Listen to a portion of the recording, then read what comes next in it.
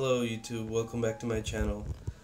This short video will be a walkthrough in how to use the FM radio application for Sony Z4 tablet devices and uh, the Z3 devices as well have it such as some Motorola devices have this FM radio chip built in.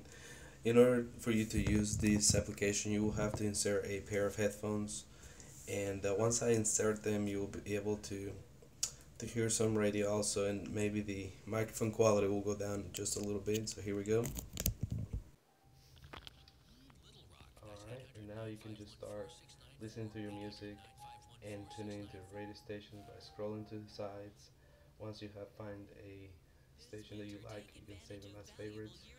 And uh, just uh, you can access them here.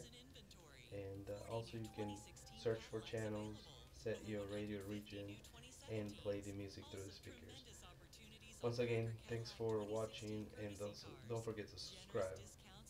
Like owner loyalty, special year-end offers for